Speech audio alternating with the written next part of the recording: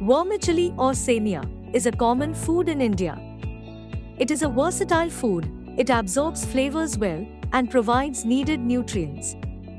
It's rich in carbs, low in fat, and offers essential minerals like iron and calcium. But is it safe during pregnancy?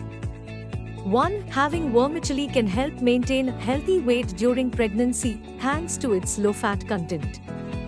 2. It contains a good amount of calcium, which is essential for bone health.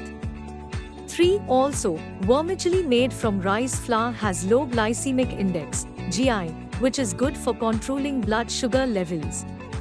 4. It's also gluten free, making it a great alternative for those with gluten intolerance. 5. It helps with digestion and blood circulation and even removes toxins from your body. However, vermicelli alone can't fulfill all your nutritional needs. Combine it with vegetables and protein sources for a balanced meal.